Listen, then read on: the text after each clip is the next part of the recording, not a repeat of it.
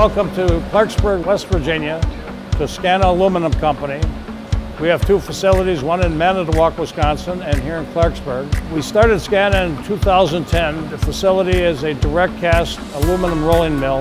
2012, we purchased this plant here in uh, Clarksburg, kept it open with the assistance of the West Virginia Economic Development Authority. It was amazing that West Virginia has this very smart program, which is lending money to local state businesses to help them retain the businesses and help them grow. Geographically, we're in a great great position for, for all of our customers. You know, we're close enough to the East Coast, southeastern part of the country. It's easy to get to, it's easy access, and it is a great benefit from Skana from our Wisconsin facility. From our processing point of view, this is what you would call a re-rolling mill. The raw material that you see behind me actually all comes from Wisconsin and then is re-rolled and cut to customer specification. We have grown from 30, 35 employees, and we are up to 64 employees currently.